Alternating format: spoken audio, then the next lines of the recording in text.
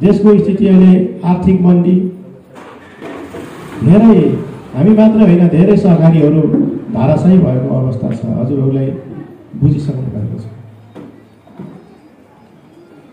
हामी हिम्मत हारेका छैनौँ।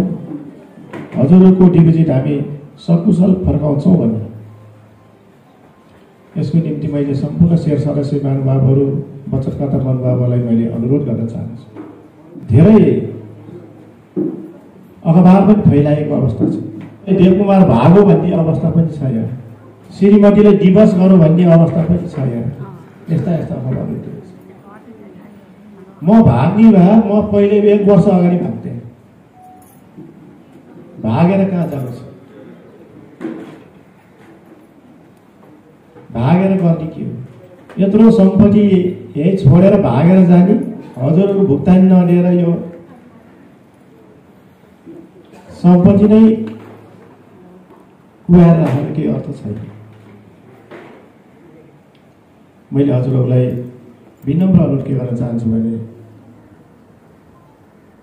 हामीलाई केही खेल्ने बाटो दिनुहोस्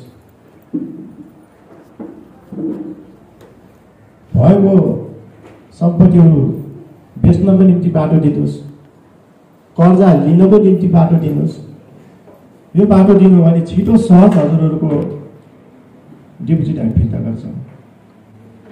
र हजुरहरू केमा ढुक्क हुनु होला भने हाम्रो राखेको पैसा डुब्दैन अवश्य पाउँछौँ भनेर। मैले अस्ति नै बोलेको थिएँ हजुरको बिचमा नि बोलेको थिएँ।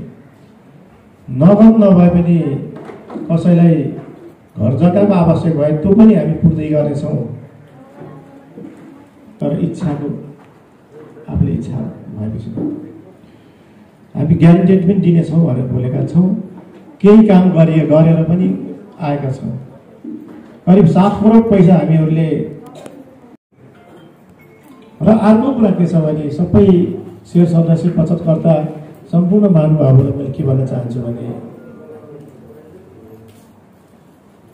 एक वर्ष दुई वर्ष तिन वर्ष पाँच वर्ष पछिसम्म भाका भएको फिक्समा राखेको साथीहरू हुनुहुन्छ। अहिले नै त्यो पनि फिर्ता गर्न हामीलाई गाह्रो हुन्छ। त्यो हो हजुरहरूको पैसा डुब्छ कि भनेर अहिले नै मलाई चाहियो भन्ने अवस्थामा धेरै साथीहरू आउनुभएको छ। हामीहरू धेरै साथीसँग बसेर हामीले ब्रिफिङ पनि गरेका छौँ छलफल पनि गरेका छौँ। त्यस कारण मैले एउटा हजुरहरूलाई एउटा प्रतिबद्धता तथा